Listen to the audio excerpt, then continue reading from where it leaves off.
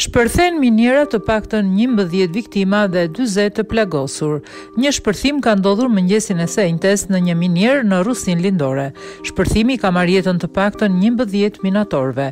Si pasojë e këtij shpërthimi të rëndë, dyzet minatorë të tjerë mbeten të lënduar ndërsa dhjetëra të tjerë janë ende të bllokuar nën tokë.